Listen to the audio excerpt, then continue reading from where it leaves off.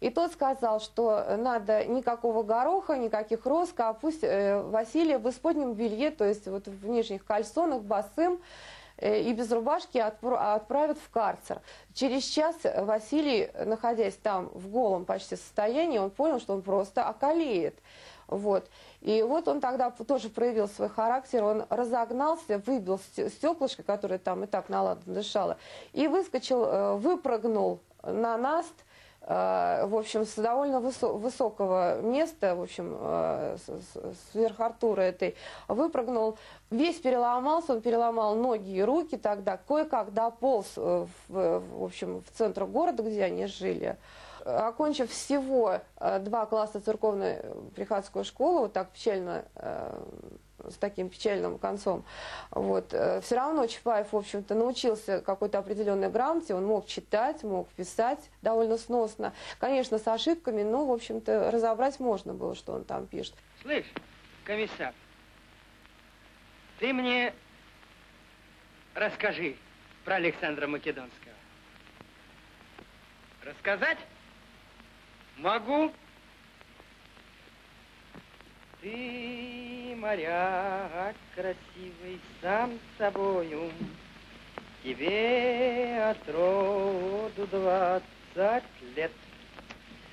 Порвил девицу всей душою. Слушай, ты, какие-то очень существенные черты, в которых люди узнавали так российский командир ведет, так российский, э, образованный, необразованный. Вот, например, очень образованный Тухачевский, но он не мог, у него не было шанса. Он был слишком образован, он был слишком тонкий, слишком интеллектуал.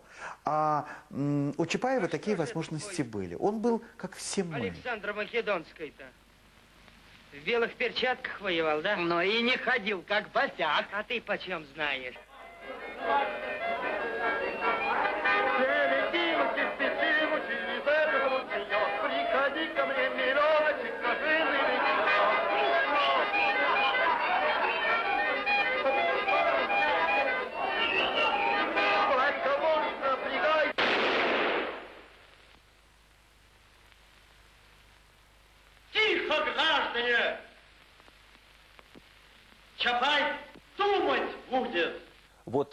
Удача, удача фильма, что они все живые, и там э, режиссеры не побоялись сделать из Василия Ивановича живого человека, да? Вот он так смешно говорит, он смешно движется, он не, небольшого роста, он такой немножко, э, немножко такой э, анимационный, мультипликационный.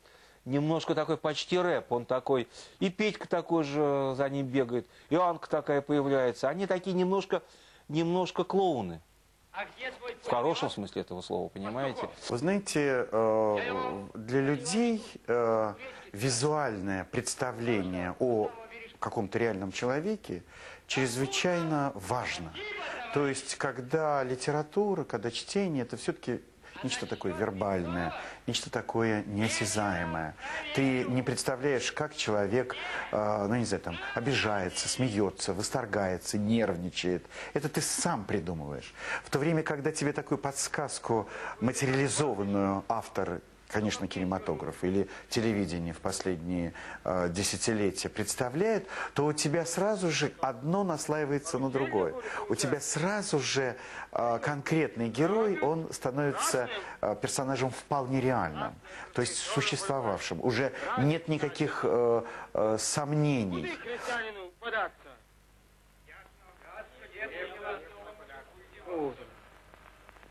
Ну, коли так, еще раз тебе, Василий Иванович, спасибо. В процессе изучения архива Фурмановых, обоих, и Фурманова и его жены, в отделе рукописи библиотеки Лены передо мной предстал и Фурманов. Не только в этом конфликте, но и в целом. Совершенно с новой для меня неизвестной стороны. Думаю, что и мало для кого известной.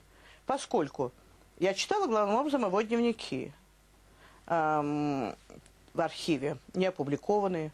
Э, за один год он вел э, два параллельных дневника, что уже меня поразило. И вот э, в одном из дневников эта запись озаглавлена «Игра со смертью». И начинается такими словами. «И страшно, и весело играть со смертью. со смертью, то есть чужой жизнью. Точка. Григорий Цветков сегодня осужден, завтра он будет расстрелян. Убежденный коммунист, работник там партии, сейчас теперь мы его судили к расстрелу. Вот э, сама фраза со смертью, то и страшно, и весело, конечно, меня глубоко... Я уже много к тому времени знала, как и, и все э, другие, о красном терроре и о бесчинствах большевиков. Но вот это циничное в дневнике собственном отношение к чужой жизни меня, честно скажу, как говорится, тряхануло. Я помню мальчишка, как мы в кинотеатре смотрели фильм и с замиранием сердца. Эти каплицы идут, мы их ненавидели, вот белая армия, белогвардейский офицер, и вдруг появляется Чапаев. Сзади его черная бурка развивается. И весь зал взрывался в восторге. Мы побеждаем, все. Пришло спасение. Вот она, Красная Армия. То есть Василий Иванович вошел даже в наше поколение, в детский наш ум, и в такое состояние, что это он представлял всю советскую власть, что спасение есть, что мы победим эту белую армию, мы победим окончательно царизм. И он был символом всей советской страны. Даже после войны. Не герои, молодогвардейцы, не Гастелло, там, не Лиса, а он. Существует несколько версий гибели Чапаева. Но вот, э, скорее всего, я вот придерживаюсь одной довольно известной версии, э, что вот э, Чапаев уже отрезали, постоянно штаб Чапаева отрезали от, действующей, от действующей дивизии. И людей не давали, не давали соединяться частям, э, в постоянном кольце держали и в голоде, и в холоде. И Чапаев постоянно э, телеграфировал, что всем-всем-всем командирам и комиссарам меня умышленно отрезают от действующей дивизии и хотят моей смерти, но я один ничто. И если нужно, придите и убейте меня. Но зачем же бросать на съедение уверенных мне людей? И, в общем-то, он очень переживал этот момент. Но так или иначе, 4, 5 сентября в 4 утра завязался кровопролитнейший бой.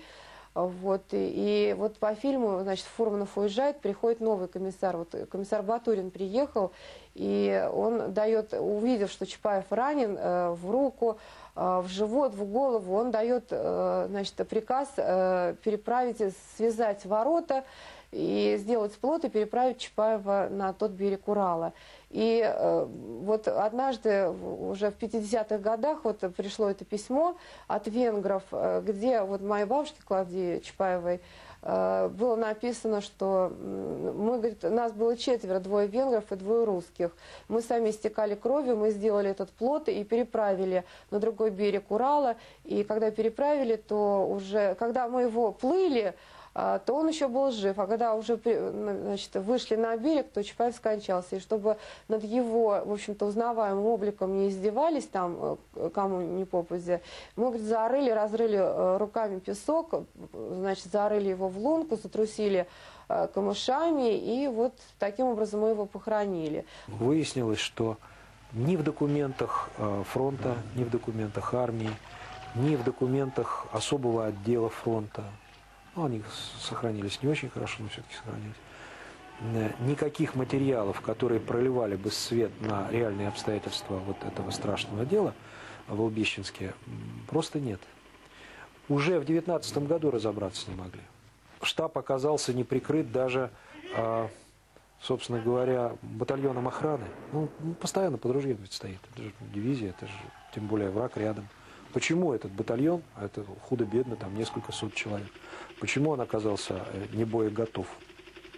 Почему 300 человек, 300 с небольшим этих казаков, а, на утомленных конях, потому что переход был очень длинный, почему они смогли э, в саблю, что называется, ночью захватить там порядка 800, около тысячи человек в общей сложности, с, обоими, с обозами и так далее. Почему это все произошло? Почему, все, почему этот э, налет э, не превратился в какое-либо хотя бы подобие боя оборонительного.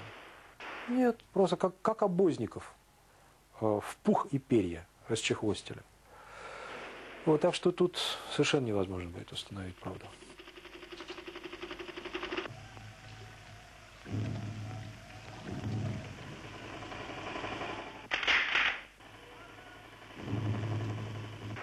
Врешь, не возьмешь.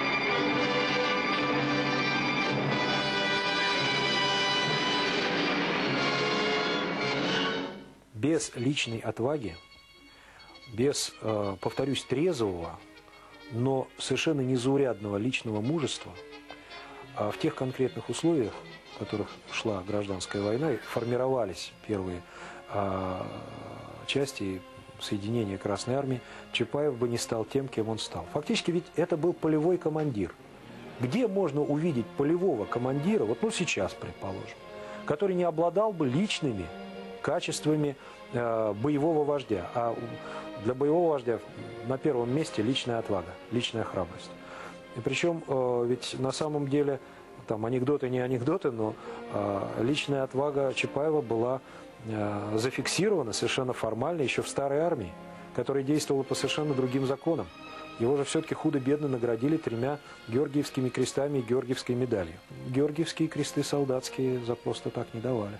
Единственное, в чем можно быть уверенным, это в том, что действительно Чапаев был сначала э, легко ранен в руку, и вместе с телеграфистами штаба, с несколькими, э, буквально там несколько человек было, он попытался организовать оборону на берегу Урала. Но был вторично ранен, и телеграфисты его бросили. Вот в чем, в чем дело. -то. Это документально зафиксировано. Телеграфисты его оставили. Сами они тоже не очень уцелели.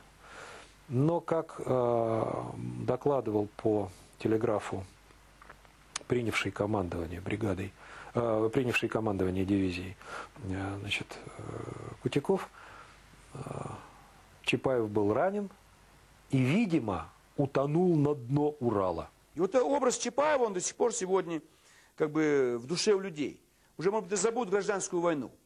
А это вот стремительный такой его э, боевой, так сказать, его образ, лошадь, черная бурка, папаха и шашка наголо, и его как бы желание помочь стране. Сегодня ни одного человека мы не можем к нему присоединить. Ни про одного нет анекдота. Даже быль нету. Тут получилось приблизительно то, о чем говорят так, чем хуже, тем лучше. Ему повезло вовремя погибнуть. Если бы он не погиб вовремя, сама неординарность его личности, видимо, вычеркнула из святцев э, истории гражданской войны, которую писали под себя победители в этой гражданской войне под руководством партии коммунистов-большевиков. Мертвые не кусаются, как говорил один персонаж, совершенно в другом фильме. А мертвый герой был не страшен. Его можно было поместить в любую нишу, его можно было истолковать как угодно. Он был уже лишен тех живых черт, которые делали его очень неудобным во время жизни. Чапаев, так же, как и все прочие настоящие герои гражданской войны, и с красной, и с белой стороны, они же были совершенно неуправляемые люди. И Чапаев был такой же неуправляемый. Он был сам по себе.